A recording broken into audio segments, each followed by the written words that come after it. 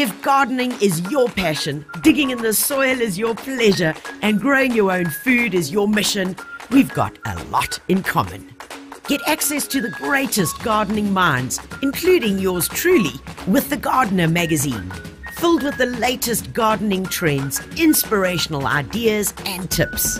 Available from leading retailers or online at thegardener.co.za. From cover to cover, it's gardening at its best.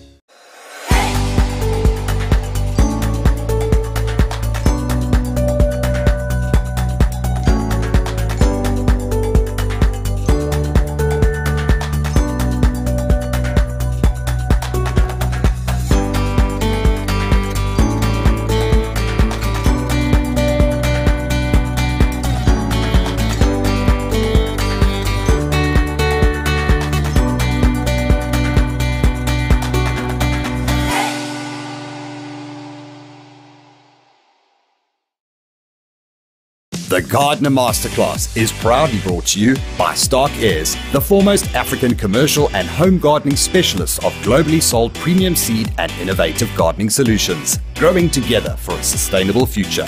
And the Gardener and Die Tuinier magazines.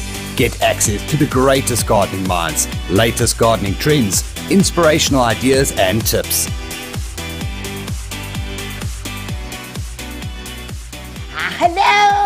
I was just blending into the foliage. okay, so I'm wearing my new shirt today. Can you see I'm, I'm in theme? And if I really want to hide away from you, I just need to go and like tuck myself in. Come, Mason, come in. See, I'm going to just tuck myself in behind one of these over here. And then I'll hide. Okay, anyway, yeah. Uh, shenanigans, shenanigans. Good morning, everybody. It's so lovely to be with you. Um, it's a crisp Thursday morning. You see, the no report, guys? I thought that was the desert part of South Africa they were talking about. It's just like, it's all over. So make sure the wood is stocked up. Make sure you got the marshmallows. Uh, remember, keep the indoor plants slightly away from the fire.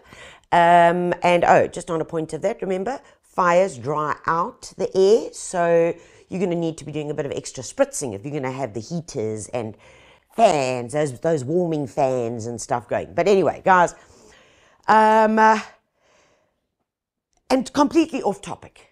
Have you seen the aloes? Oh, guys, I actually, I was driving somewhere. Actually, I know exactly where it is because I want to get the seeds of the aloe. But don't, don't, don't tell anybody, don't tell anybody. But there was a, a, a ferox growing on the side of the road, like just a normal ferox. That's the big guy, like the candelabra one, okay? And it's got the most beautiful two tone, like, like incredible. And I was driving and I was like, you know, one of those like, ah, like, oh, there's a car in front of you.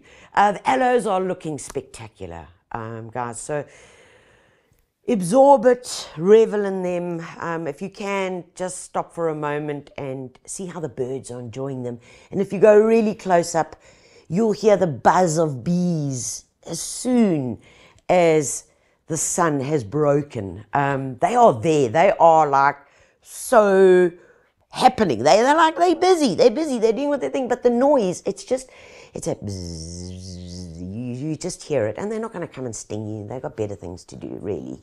Um, Today we have got a big topic, guys, and it's a hot topic and it's on the tip of everyone's tongues. And it really started before COVID, BC. Did we ever think we'd be using that BC? It kind of, the whole trend started before COVID, the whole downsizing, people living in small homes, wanting to connect with nature, wellness, you know these words. They've all been used. Um, uh, healing, connecting with nature, all of those words that we hear so often uh, have really sparked the plant and the house plant revolution.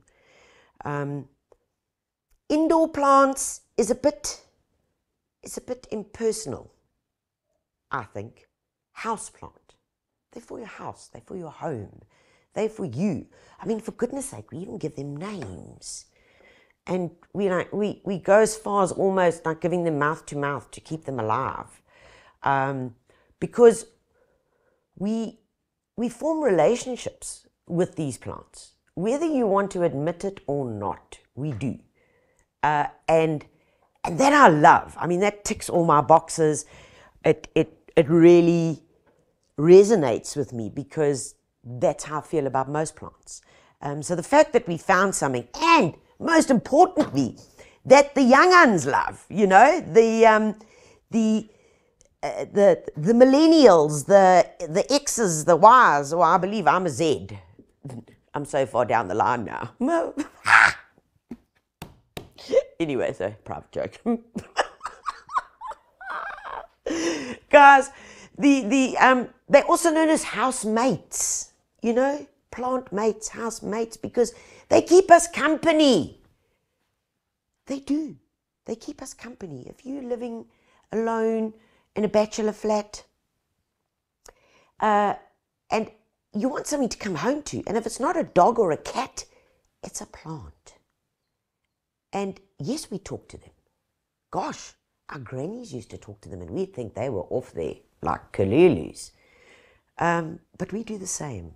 And I just, it makes my heart beat so, so full. Um, folks, we've got a lot to get through today. And, um, but before we do, uh, let's see who is here. Um, good morning, Ellen. Good morning from Franschhoek. Oh, Franschhoek, beautiful. Ooh, mwah. Yo, but gosh, you guys have had rain, hey? Man, you have had rain. So, uh, yeah, it, it are coming. Uh, Maureen, good morning. Good morning, Lisa. Good morning, Lisa McKenzie. Oh, mwah, mwah, mwah, mwah. Chicken pie. Sending you love. Big, big squeeze. Big, big hug. And I'm still looking for that plant that you want. I will find it. Um, Marlene, good morning from a cold Pinetown. Yep. And you know why the ground is so cold, guys? The ground is cold. I was gardening the other evening. It was like half five. Um, it was nearly dark. I needed, nearly needed to put my headlamp on, my fishing lamp. But the cold comes up from the ground, and it just like you can almost, if it was like one of those movies where you're about to get nuked, it's like you can almost see the cold coming up because the ground is so wet. Because we've had over and above average rainfall, which is brilliant. Um, it really is good, but that's why it is so cold. Beryl, good morning from a breezy. Oh, it's only breezy PE. PE. Um, good morning, Cindy May. Terry Lee, good morning, chicken pie. Um, Renata, good morning. Kerry Graham. Um, ah, it's good to see you guys here. Um, who else do I have on here? I am right, right, right, right. Beryl, good morning, good morning, good morning. Guys, there are loads of you, whether you are on Facebook or whether you are on YouTube. Um, Steph, good morning. Barbara, Barbara, ah, ma, mwah. I'm coming to Cape Town. I'm coming to Cape Town soon. You know, Barbara, um, everybody in my team knows Barbara. Um, well, they don't know her. They, they know her. But uh, when I do a talk, whether I'm at a builder's or whether I'm at a garden centre, um, Bob's is there. And she's in the front row and she's normally got some knitting with her sometimes, but she's always got a little something. And that little something is wrapped in the perfect little bit of um, uh, tin foil um, or sometimes wax wrap. And in there is a yummy, like a little samosa um, or one of those little coconut fingers. Um, what did Bob's give me the last time? It was it was something. It, you you she knit you knitted something. It was the little the tea towel. The tea towels. You did me the tea towels. Yes, yes. Yeah, you're a legend. You're an absolute legend. And it's like, I- yeah, I know you, but you know me better. Um, um, good morning. Nokotula hlele. Hlela. Good morning. Pindile ndaba. Good morning. Uh, my Rolex. Good morning, Team Rolex. Good morning. Huh. I might need though your those gadgets of yours because um yeah, you see I've got a bit of a uh, Mace, can you see this uh, this green stuff here? Um, this fake turf. Um, but uh, yeah, we've got something coming for you. So uh, yeah, on how to clean this Interesting. How's it, guys? How's it? Yeah, I want to. I want to take that thing and give it a good run. You know, I want to be like Speedy Gonzales with it, but I can't tell you anymore, guys, because it's like early days. Okay, early days. Uh, Susan, good morning. Susan Spook Ferreira. I love that. Spook. So Spookasem. Do You know what Spookasem is? Candy floss. Candy floss. Spookasem. Isn't it a lovely word? Afrikaans, beautiful word. Um, mm.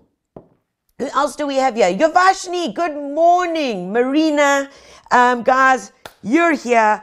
So let's get going. Let's get going. First of all, let's just make one fact very, very clear, and that is that indoor plants were not bred by human beings like us to indulge us for our homes. Let's just get that fact out the way. The fact is that indoor plants, or house plants, or housemates, actually originated from the jungles. Way back, way, way back.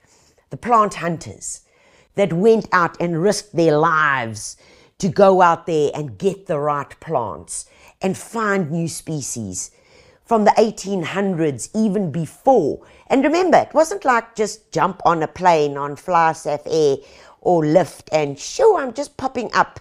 Okay, this was like nine months on a ship full of rats and scurvy and whoa, whoa. I mean, there's no no fresh veg there. Huh? Um, they seriously, it was epic. People lost their lives. They, it was all in search of the new plants. I mean, can you? I would have loved to have been a plant hunter. I probably would never have come back because I would have joined a tribe. You know, actually, yes, I can see this. I would have had a bow and arrow, and I would be a hunter gatherer because that's my other name, actually um, through a group of friends. When we go away on, on holiday, I'm the hunter gatherer. That's my job. You know, if we need this, if we need that, if we need that, I go. Um, so I probably would have loved that. Actually, maybe. Okay, let's not go there. I'm talking nonsense now. Sorry. Um, um, um, my brain is there. I'm in the I'm in the jungle in South America. I now have war paint on. Um, I am there. I am there. I don't know about the loincloth, but I'm there. okay, so history, history of plants. Um, and you know, it's like family history. We always, we've always got to remember from whence we came, from whence we came, who our mom and dad was, our grandparents, what is the lineage, um, you know, because we learn things. We learn things through this. We learn that Uncle Cecil at 64 had a bit of a cholesterol issue. Okay? So then we like, we, we become aware that it's a genetic thing. So we need to like, okay, be careful. You know, not so much deep fried food. Um, and likewise, the same with plants. If we know from whence they came, where they originate, we learn more about them. Yes. Okay, you got it. And if you know that auntie whoever, you know, had a twitch, well, then you're going to seriously check out the gene pool, you know, and diversify. Mm, okay, never mind. Okay, I got my coffee. It's delicious. Mm. Okay, so let's talk about big groups of plants, big, big groups. And what we've done today is we, we've grouped them so that you can get an idea of what is out there and and what might work for you. Okay. Now, if you are a houseplant murderer and have been seen on police file, it's okay because by the end of today's lesson, I'm hoping that you're going to have a few more answers.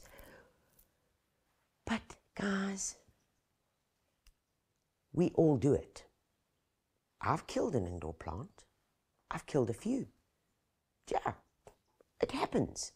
So don't beat yourself up, you know, just dust it off and we learn, and that's how it goes.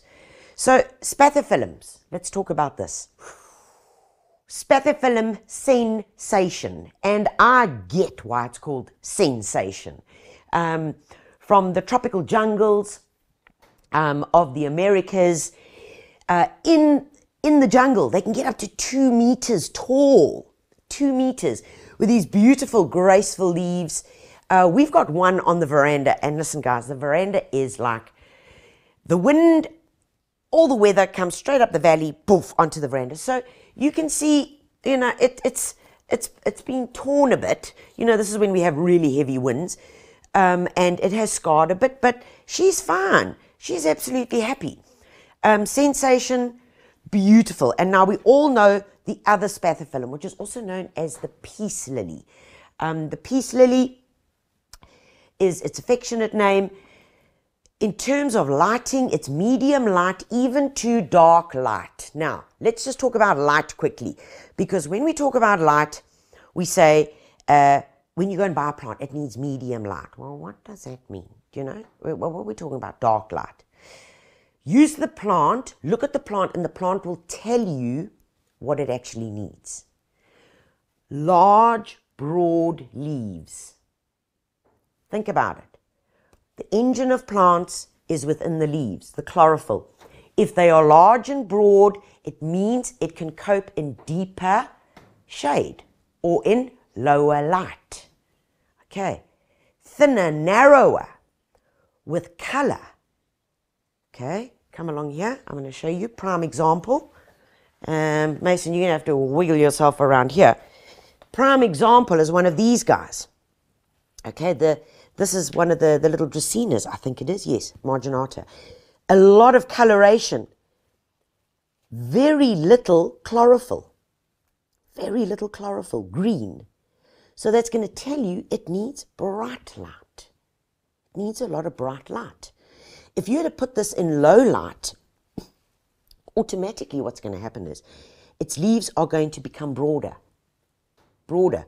The red will start disappearing and the green will become more dominant as a point of survival because it needs more chlorophyll. It needs the engine room, okay, to be able to make it work. Um, and I hope that makes sense. So narrower leaves, brighter light. And when we talk about light, we're not talking about direct sun, guys. We're talking light, filtered light that comes through. So if the sun is up here, you've got a window and it's that beautiful light that comes through. That's what we're talking about light. Okay, couple of general rules. Home plants, house plants, housemates, not in front of an aircon. No. Front doors where there's a draft. No, they don't like that. Okay? Um, those are the kind of practical things that you need to think of. All right, let's go over here. Ferns. Isn't, isn't, this, isn't this beautiful? I mean, look at that foliage. That's from under the sea. It looks like looks like coral. It, it's spectacular. This is or it has to be one of my favorite favorite ferns. Um, there's a whole lot of. Ah, let's put it this way. It's a hot potato ferns. Um, currently, there are lists and lists and lists and lists about that. Probably 99% of them have been declared alien invasives. Um, but I, uh, I'm choosing to take the fifth on this one and, and, not share anymore. So as long as you can find them in a garden centre, buy them. Uh, that's my ruling. Um, and I, I said nothing, nothing, nothing, nothing. This guy's got a beautiful name. It's called Phlebodium. Um, actually, it sounds like bleh, Phlebodium, but nice word to say. Uh, easy to grow. We've even got some growing in the, in the shade garden, um, as long as you're in a frost-free area. Um, remember, guys, in terms of ferns, that upright one that grows in a little crack this big um, with those little nodules, that's the sword fern, upright. That is a negative no, no, no, no. No. That thing multiplies like like fleas. Um, and, and that is a the sword fern is a is a big no-no, so please, not that. However, this guy here is a relative of it, but it's called the Boston fern. Look at this beautiful yellow foliage. Golden. The secret with ferns, and oh my goodness, the Maiden Hair. Oh, caramba. How many of these have you guys killed? so, the secret with the Maiden Hair is water. Because, and the maiden hair, indigenous to South Africa, um, you can actually eat the fronds. if you really want to. Um, but what it needs is constant moisture because where you see them growing in the wild, and I'm taking you back from whence it came. When you're doing your walk, your weekend retreat, and you're in the Drakensberg or you're wherever, wherever, wherever, and you're walking and you see these lovely ferns, where are they normally growing? Next to a stream.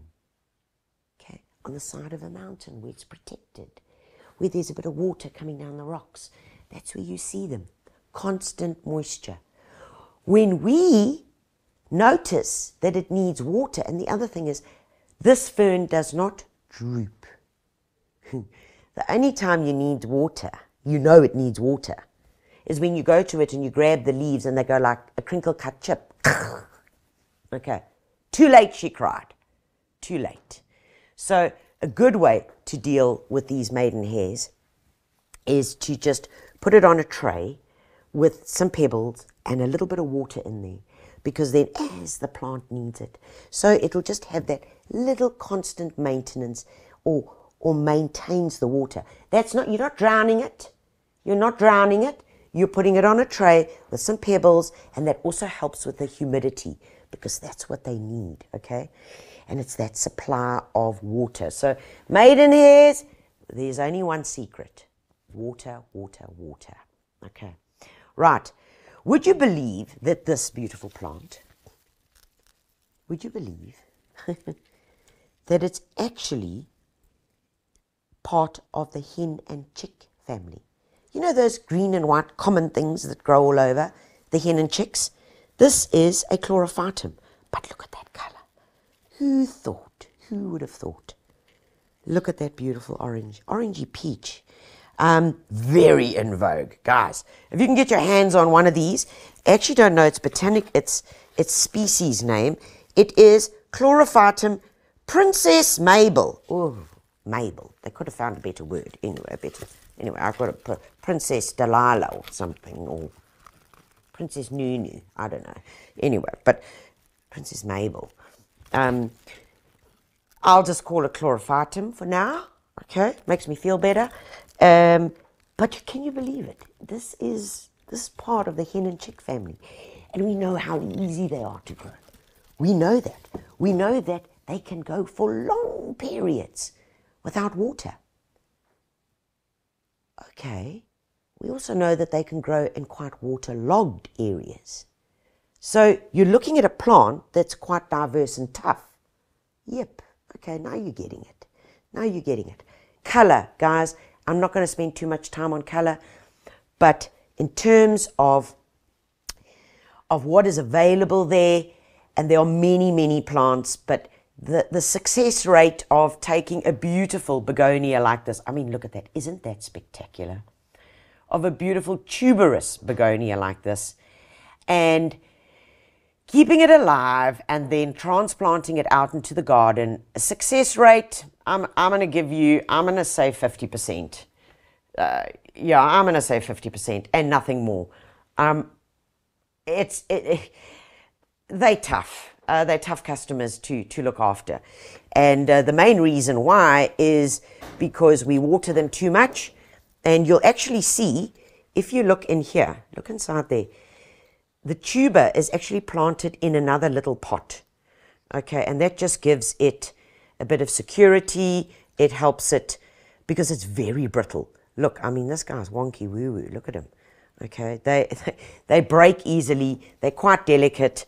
Um, do not overwater them because that's why begonias die because we're overwatering them. Um, and that generally goes for most color indoors.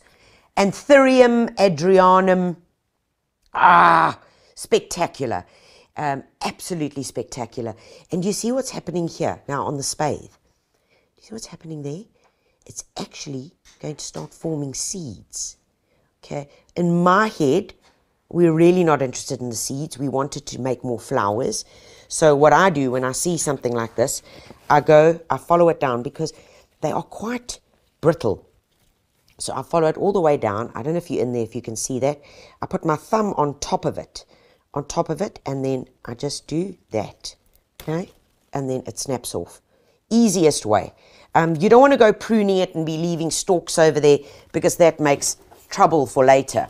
Um, but my mom used to actually um, grow her anthuriums from seeds, and we'd wait till these would get um, nice and puffy, and they would get these little yellow seeds, which we could just break off, almost like a pomegranate.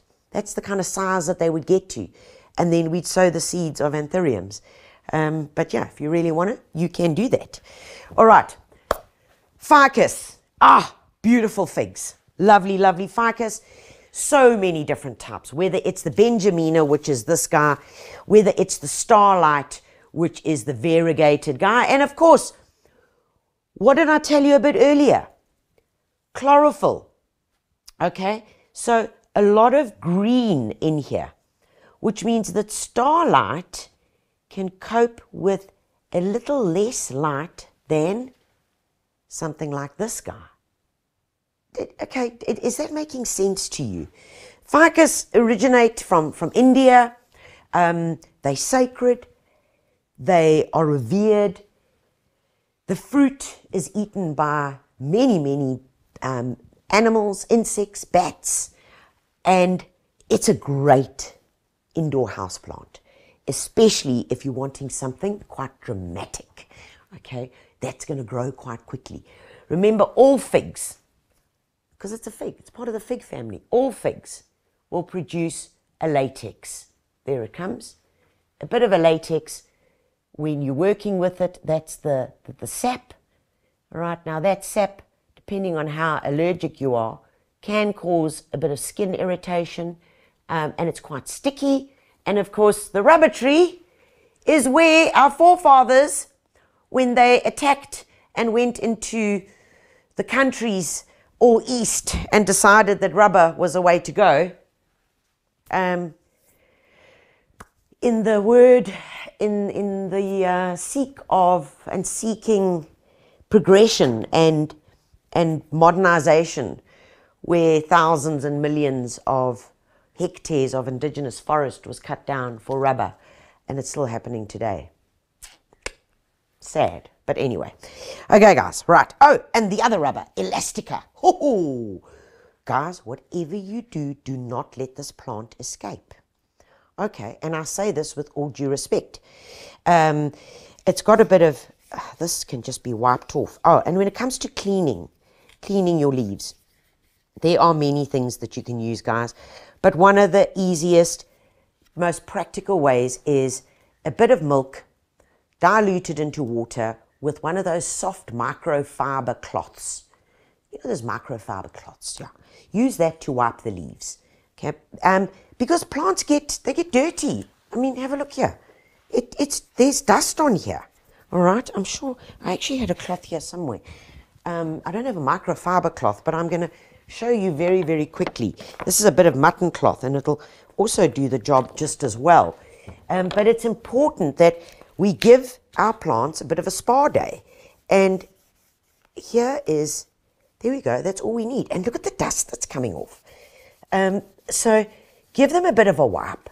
It's really important um, because look at all that dust. Caramba. Mm, clearly, I haven't given them enough of a spa day. Mm. Okay, so this is Ficus elastica. Guys, you have seen the potential of this plant. This plant is like a young 13 year old, 14, 15 year old male who is eating you out of house and home. Loaves of bread disappears, eggs disappear, uh, the cereal box goes empty overnight, and you're like, what is going on here? If you let this plant loose, that's what's going to happen. In nature, Ficus elastica will get to 30, 40 meters in height. Do you see these roots? Look, look, it's like a triffid. It's looking for somewhere to go. It's looking. And I'm actually going to do this. Um, I wasn't planning on doing it, but I am going to do it. Um, I want to take, um, yes, no, wait, two seconds. I actually want to take it out. Guys, these roots are vicious, hey? Seriously vicious. In fact, just yesterday, I had somebody send us an email um, saying um, Nothing's growing underneath this plant. I think my neighbor has killed the plants in the bed. I'm like, How do you know? She says, I saw her walking with a bottle. I'm like, guys, you can't start accusing people of killing plants because the plants on the other side of the bed are growing fine. I ask for a picture, I ask for a wide picture, they send me a picture. What is growing in the bed? Specimen A. Look at the roots. These roots will take you out, like in those horror movies, and take any other plant out, wrap themselves around it, and strangle it. Okay? So, best keep them just as house plants. Don't tell your children these stories because they will have nightmares about this fig. Um, but spectacular, in my opinion, for a great house plant. Um, very tough. In fact, most people kill them through overwatering. Let it dry out. Okay? Let it dry out well and then give it a good watering. Um, and Ficus elastica also, if, yeah, no, just, just don't. Just, just, just, just don't let it escape. Sorry, God. But beautiful colours. You get a lovely golden. You get a beautiful cream, which is called Tineke. Lovely name, better than Mabel there, whatever it was called. Okay, so that's Ficus elastica. All right, so those are your figs. Um, come along this way, and let's show you another group. Calatheas or Marantas. Calatheas or Marantas. Oh, they are beautiful, guys. Um, also become very, very big in the plant world, especially in the collecting world. Could you believe that this sexy beast is a Calathea? Um, Calatheas originate from the jungles of South America. Um, they need very little sunlight, very, very little sunlight. And they also are known as the shadow plant. Why are they known as the shadow plant? Because, guys, all day and every day, we don't see it happening. The leaves turn to look for the light. They turn like this. Somewhere on YouTube, there's a, a video of someone who did it in slow mo. And it, it's fascinating to see how the leaves move all day looking for the optimum light. Absolutely spectacular. Now, they're coming from the jungle. They jungle floor plants, which means what are they going to need? Rich soil, lots of organic matter, okay? And they are tough because on the floor of the jungle is where the war starts. Because if you're a little seedling, you have got to fight things that eat you, things that will stomp on you, and other plants that might take you out. So, in terms of toughness, very, very tough. Okay, orchids. Oh, caramba. We're not going to go into this in a big way because we have done many, many videos. And if you want to know more about how to look after your orchids, please, guys, just go to Garden Tube, which is our YouTube channel, and type in orchids and whether it's a Cattleya like this. I mean, come on, look at that. Isn't it beautiful? That is, that is spectacular. Calatheas, Cattleya, um, or whether it is a cymbidium. Look at that. Now the cymbidiums, do you see that? Do you see that neck there? It's got a movable part at the base so that it can do that because there is where the pollen sits in there. Okay, so I want to show you this here. Let me get in there. So when it is pollinated, the insect will get in there, okay? And as it goes in, that is what it want, wants to pick out, and that gets stuck to, okay? There, gets stuck to the top of it. Um, because there are the stamens, which is where all the pollen sits. And it actually collects that and then transports it and then re fertilizes or repollinates the next one that it goes to. Quite fascinating. But the arch is here for maneuverability for whatever size insect is going to go in there in order to pollinate it. Quite fascinating. These are winter flowering, so if you've got some now, they should be looking spectacular. And remember, it's also a great garden plant. Yeah, but Yes, because they actually grow in the wild. Damn. Okay. So these guys, brilliant. You can plant them in semi shade. Um, they actually enjoy quite a bit of light. Um, how do we know that? How do we know they need quite a bit of light? Because of the narrow leaves. Okay. All right. Got it. This is the other spathy that we spoke about earlier, the other peace lily. All right. And you can see these flower about twice a year. Um, of course, we always buy them when they're in flower, and then we wonder why they're never flowering again after that. That is because of light and food. All right. Uh, if they're not flowering, remember, you don't have to flower if you're kind of really comfortable or you, you're lacking in some things. So it's light that they need in order to make them flower. Um, right, guys, let's talk philodendrons. Now, philodendrons, philodendron, where else are we? There was philodendron on that side. They are all incredible. It's a huge, huge family of plants, um, a huge genus, and in fact, so big that they were there are over 489 species, okay, of the philodendron. That is listed. 489. No wonder why everybody wants one. Um, it was discovered way, way back um, in the early 1800s, also brought from the Central Americas, and the word philodendron, and in fact, it's it's a quite a weird thing because most of us don't know the, the botanical name of a plant, okay, but we'll call it by its common name, like um, the peace lily, but we don't know that it's called spathiphyllum. Um, but philodendron is one of those few plants that we actually, that's the way we know it. Like, we don't call it a vacuum cleaner, we call it a hoover. Isn't it weird? You know, uh, yeah, it's kind of weird. But philodendron is one of those, and it comes from the Greek word which philo, philo means love, and dendron is tree because it can become tree like and it grows. Some of them grow on trees. You've seen them, they're huge. Um, very easy to take care of, many, many different species. And in fact, these guys, when they flower, you know that they make that spathe. Okay, that, that like that I showed you with the arum lily. They're part of, of the Araceae family, which also um, the anthurium is part of. Which also is part of this is the arum lily. Oh, okay, now I get it. So do you see from whence it came?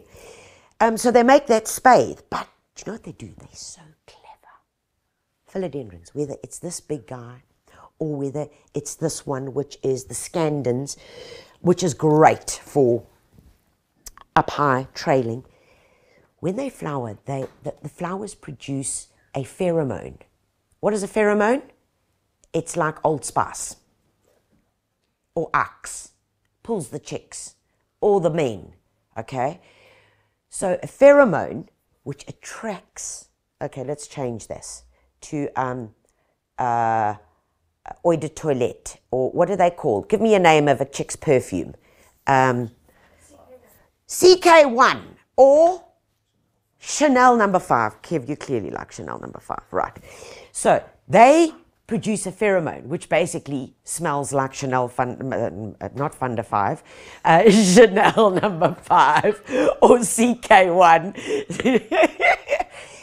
and the beetle that is needed to pollinate this thinks, guys, there's a whole lot of chicks in this plant. Let's go, party here.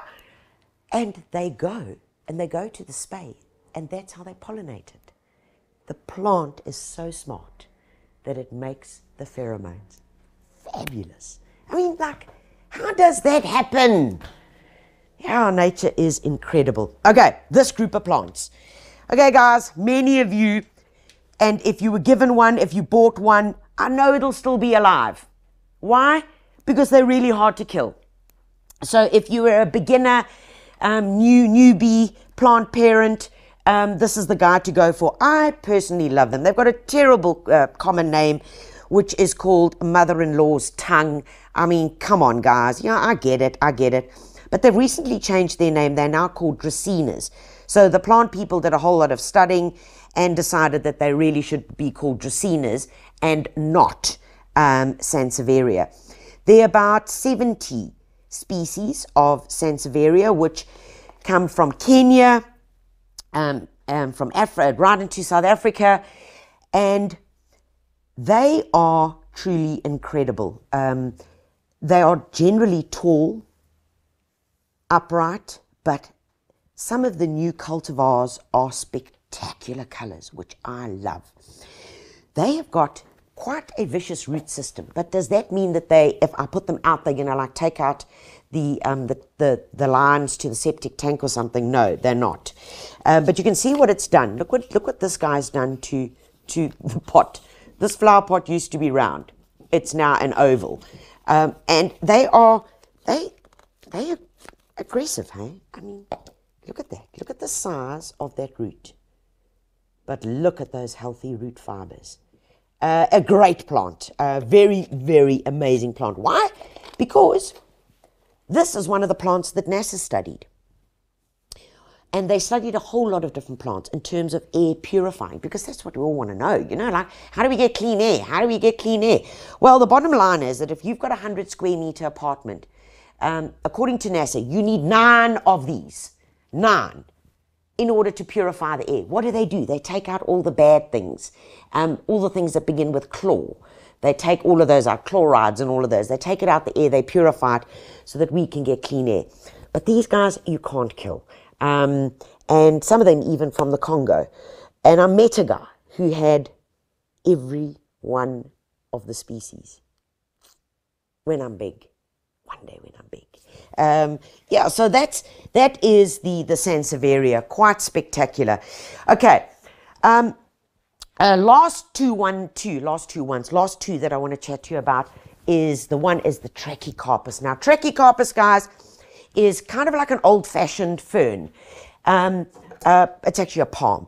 When you go into those um, beautiful, fancy hotels, if you've ever gone across to um, uh, to uh, Thailand, you will see these. It's also known as the Chinese windmill plant, and I get why it's called that.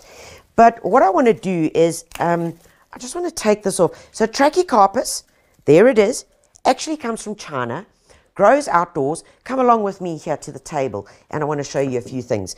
So, so this plant was was discovered, and it's it's a brilliant house plant, guys um, in terms of, of a palm. It's brilliant. It can cope with low, low light, very little water, tough as nails.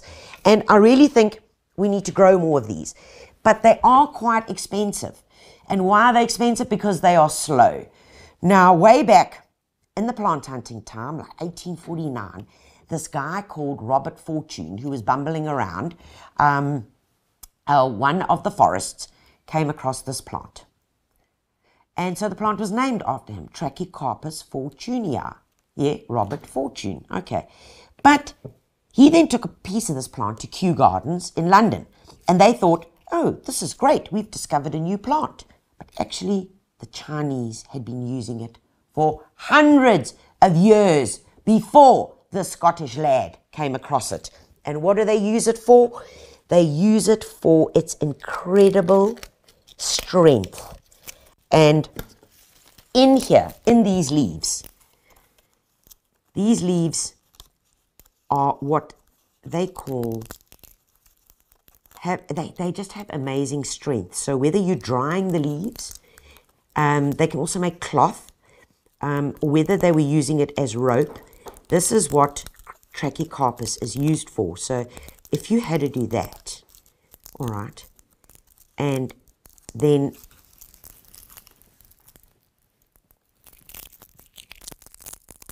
I'm pulling. Strength. Okay. And I haven't even done anything to it.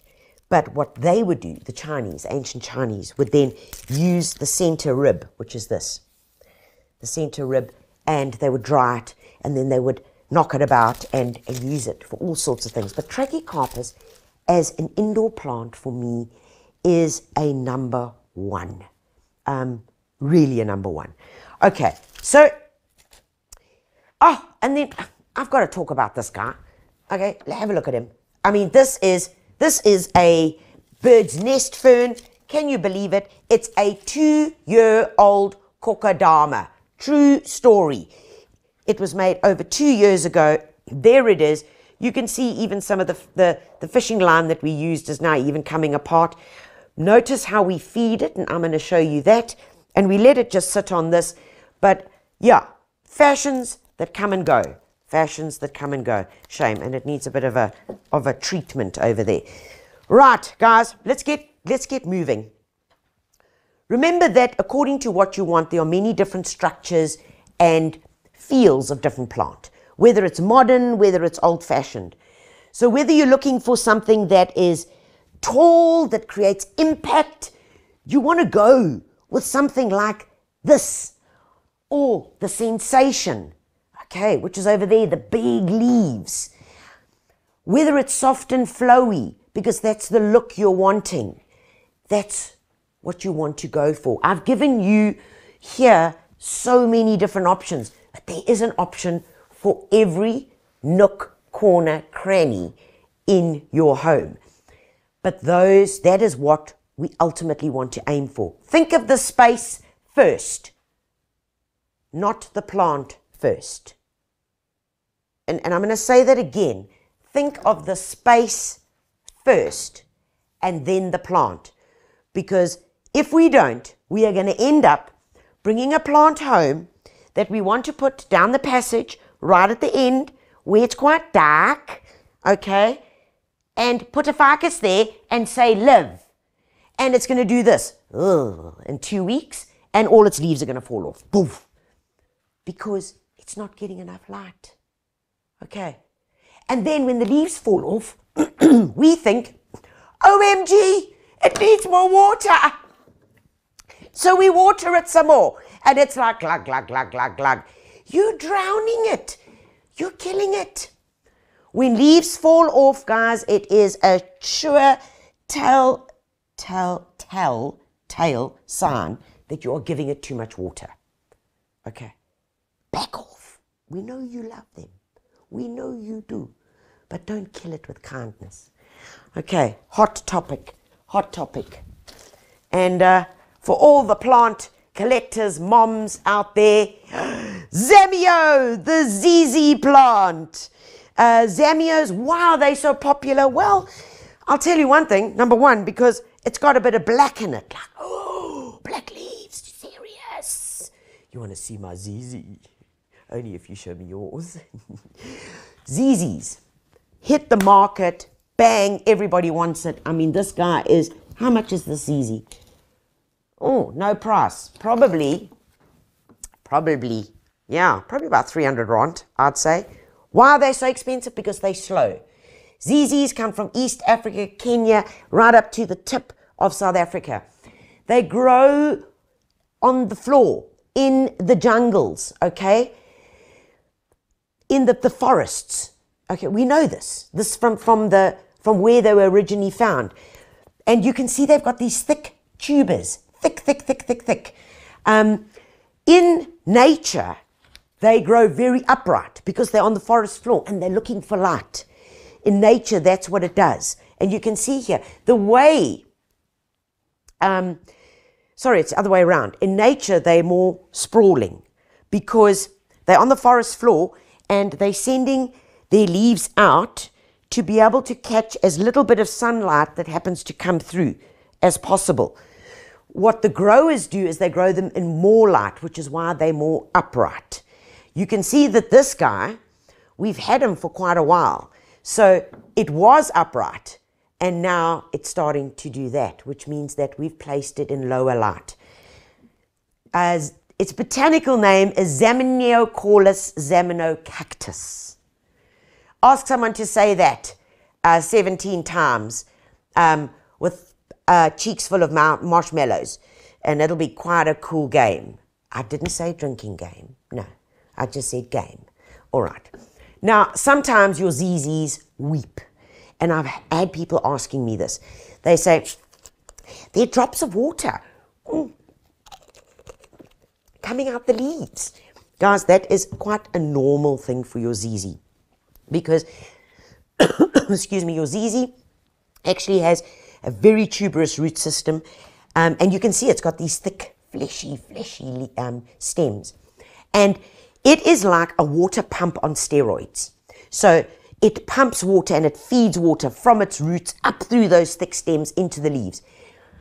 If your ZZ is incredibly happy, if it is happy and optimal, it will then, out of its little stomas, out of its pores, actually plop out little bits of water, little droplets. Quite fascinating. That's why they say sometimes my ZZ is crying. It actually means it's incredibly happy. So it's joy tears. Um, what the ZZ can also do if you've been overfeeding it or if it's got a mineral in the soil in excess, the ZZ has the amazing ability to take that mineral, put it through its system, and spit it out in the form of a droplet. And when that droplet dries, you will see like a white substance. That's the dried mineral that the plant takes and says, bloop, out you go. Isn't that fascinating? I just, plants are incredible. Absolutely incredible. Okay, guys, what we're going to do, think about display. Think about your pot covers, think about your display. And I'm going to quickly go through this, but always bear in mind that the pot cover that you buy will come into, um, will come back into fashion at some point. So don't stress about it. We have a box in the garage. It's one of these clear boxes. And, you know, as we buy the pot cover and we no longer want it, then what we do is we just swap them out. So pot covers from these, and remember they don't have holes, so please be very careful. Okay, they don't have holes. So your watering, I'm going to touch on in a minute of how to do it easily, okay, and efficiently. Whether it's the natural look like beautiful baskets, okay, um, or if it is a ceramic. There are so many different options that you can use. And it's about us finding the right fit for our homes um, and go looking. And if you cannot afford the three pots that you want this month, then don't buy them because I guarantee you that by next that if you've bought the one, you could only afford one out of the three. By the next time you go there to the shop, they're all gone, and then you're sitting with one lonely pot that doesn't work with anything. So rather save up and then go and buy your collection of pots, um, just to make and control your expectations, you know, because when you go back and you wanted that one, I want that one that looks like this, like this, and you say, oh, we only got in one container, now they're all gone. You're like, oh my word. It happens. In terms of soil, I've spoken to you about the different plants. Your basics that you're going to use, guys, is just a plain potting soil. All right, now there are different things that you can add to your potting soil, of course, because depending on the plant. Now remember, I said ficus, all right, nice and airy. Calatheas grow on the forest floor, so they're needing some good drainage. Your philodendrons can grow almost anywhere.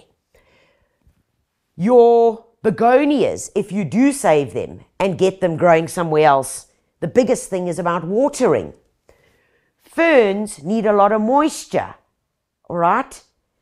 Your ficus, your, your, this guy, okay, was all about drainage. So, knowing these things, we then know what mix we need to use for what plant.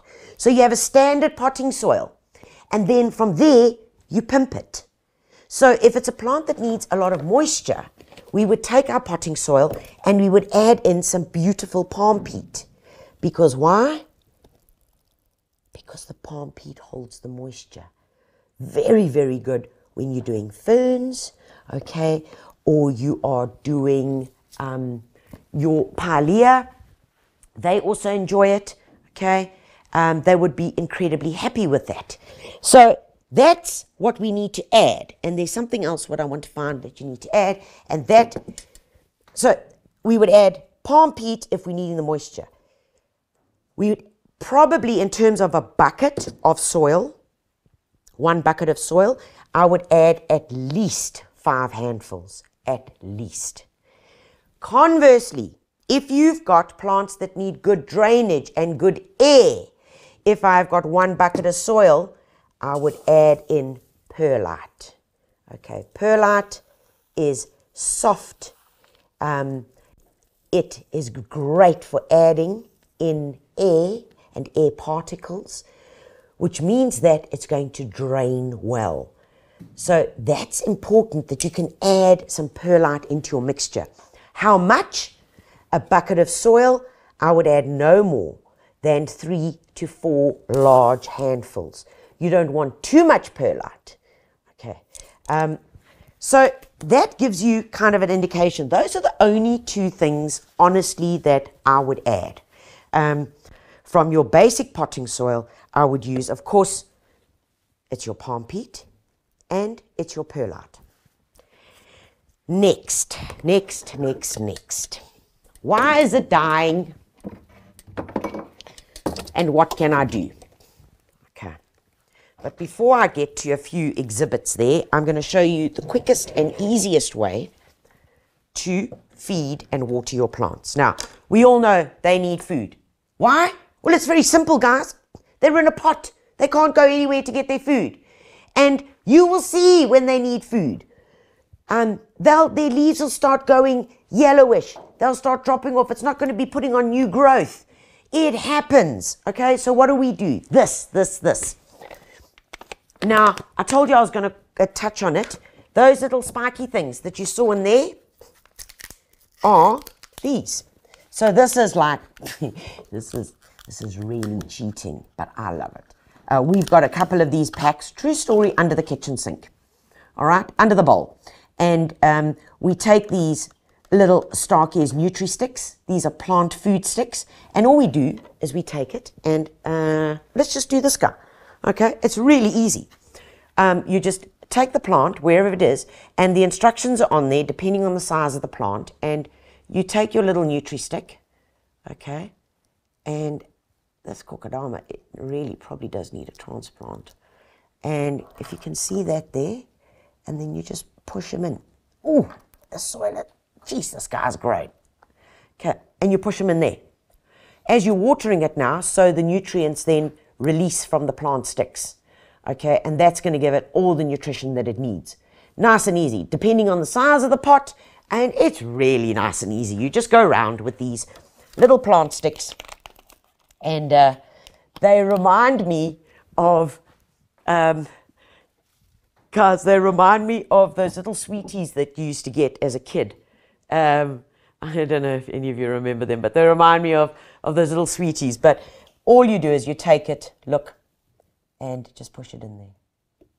And that is as difficult or as easy as feeding is. Nice and simple, huh? Hmm. Okay. Aren't you looking gorgeous? Man, you're beautiful.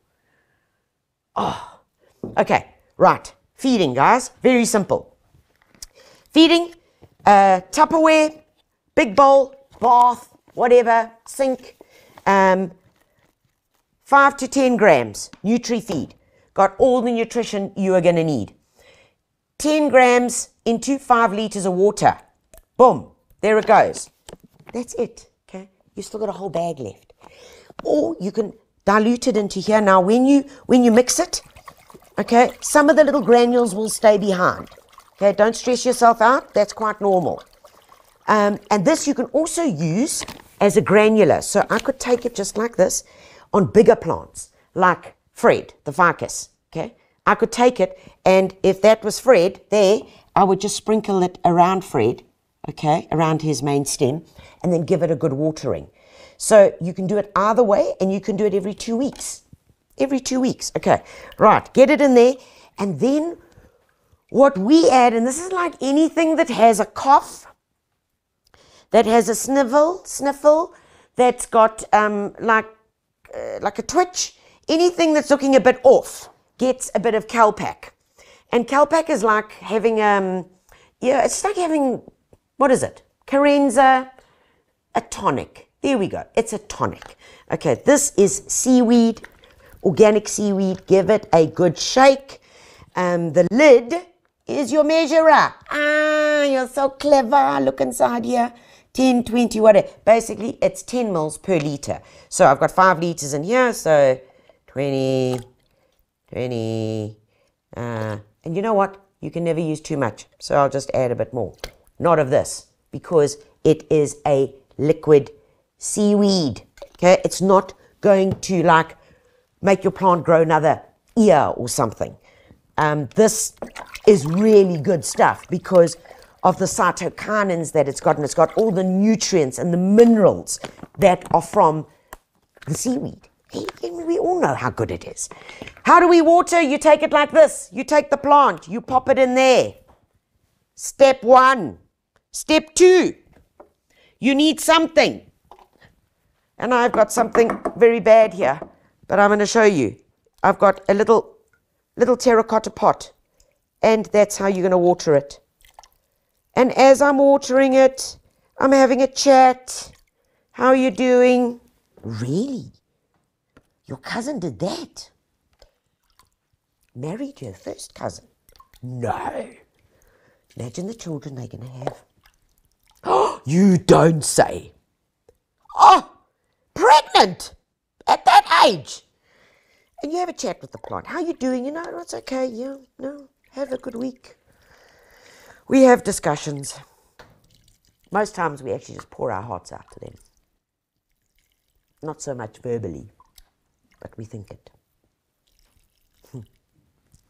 Because those are the quiet moments. There's something so incredibly therapeutic about this. it really is. And so you water it until the water drains from the bottom. Have a towel or a cloth.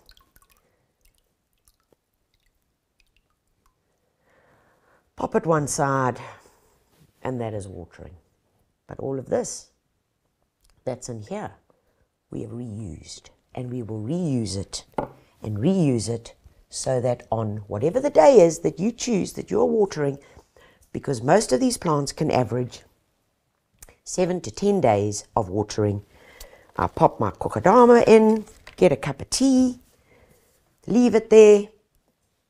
Bigger plants, obviously, you can't really do this, but you could certainly do them in the bath, okay? Um, and that will do the trick just as easily. But here, I'm saving water. It's really good for the headspace. And the plants are smiling. okay, guys, I'm going to leave this kokedama in here because he needs a little bit. What can go wrong? What can go wrong? Um, something can always go wrong, guys, um, and especially with your orchids. the awkward orchid. Folks, with orchids, let's not complicate it. If it has got too big, if it is finished flowering and it needs to be repotted, okay, which is generally something that you'd want to do every two to three years, you're going to go to your local garden centre and you are going to ask for orchid potting mix. They have it. Orchid potting mix, that's what you want to use. And put it into a pot size, just one bigger. Not huge, just one bigger, all right? And you want to use these. They work, guys. This is for when you need them, okay, to be able to get the right nutrition for putting on growth. So, in other words, after your cymbidium has flowered, after it is flowered, you then start feeding with this, which is going to give you the growth. Start coming three months before winter, before they start flowering you start feeding with flowering orchids, which has enough nutrition. Look at all that nutrition in there, okay, to get them to flower. Okay, it's very simple. Don't overcomplicate it. in terms of goggas and nunus and all those things, well, of course, we know that when you are feeling down, something's going to come and get you. Exhibit A is this poor guy here. There's mealybug on it, which is generally the most common. Yeah, mealybug. You see, looks like cotton wool. Bit of fluffs of cotton wool. Folks, you can just wipe it off. Um, it does come back if you wipe it off because it kind of lingers around. It's generally mealybug and scale are the two their scale. Um, they're like little white things um, that can on the on your larger shrubs like your figs and that your ficus they can actually get onto the main hardened stem and look like very very little uh, tortoises. And you can actually scrape them off. Um, you can see here you can actually scrape these off.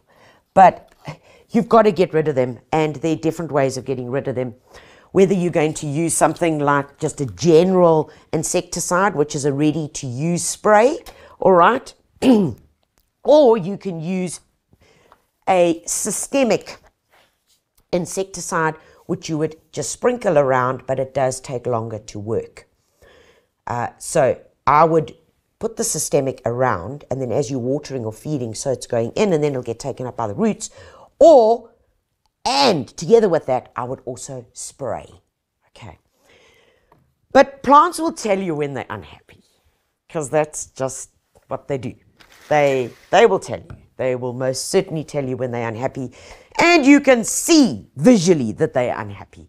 Um, but what joy do they bring? And without the downs, like in anything, we can't enjoy the ups of the relationship that we have with these things called plants. Uh, guys, remember to get out there and get your latest copy of The Gardener and Die Tuinier. This is our fabulous June issue. Oh my goodness, and look at that. July, I beg your pardon. This is Aloe Aloe. Look at them. Look at that. So if it's aloes you after or the trendiest house plants, will you believe that we have five, six, seven pages of the trendiest houseplants that you need, most of which have been discussed right here today, even in more detail. Guys, you find it right here. Get this at your local nursery, your local garden center, or your local shop where you go and get your groceries. And if you can't find it there, please just drop us a mail, send us a message on Facebook, and we'll tell you where you can get it.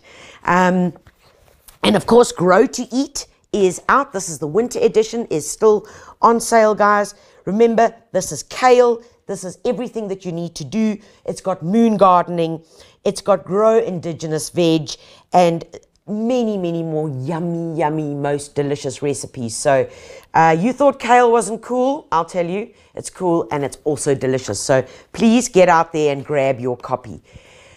Um, the most awaited, most wanted, Thanks, plants, for 2023 campaign starts again um, in August, guys. Remember, there's lots up for grabs. Um, what is the whole thing about? It's about us saying thank you to these beautiful plants that surround us. Um, it's all about that. And always, as always, there's something in it for you.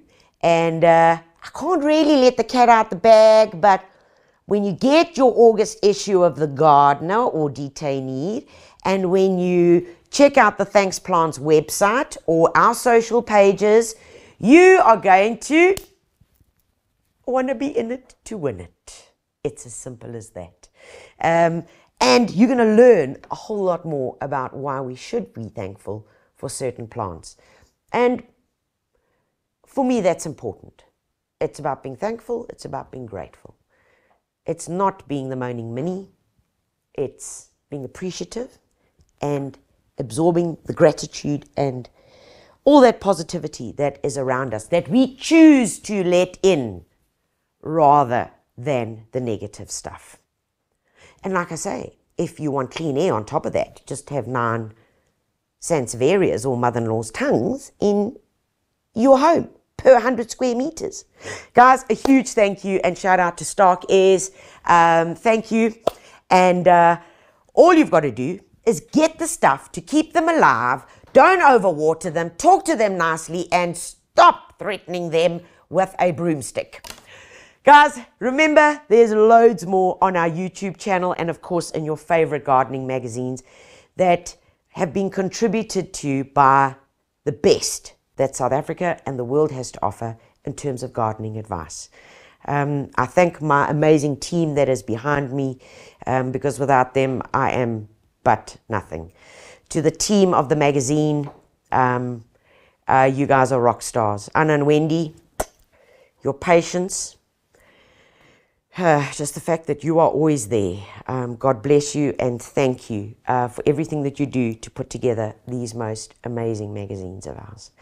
And all that's left to say is it's a gardening weekend ahead. Dress warm. God bless you all and happy gardening.